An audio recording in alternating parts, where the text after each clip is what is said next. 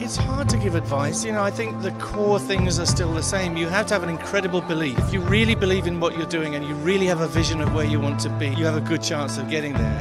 You know, the rest of it is all just, you know, embroidery, really. You know, it, it's what's inside you and what you want to say.